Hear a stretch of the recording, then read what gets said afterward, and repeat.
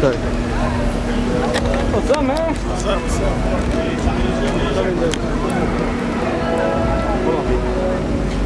Blac Chyna's in there? Yeah.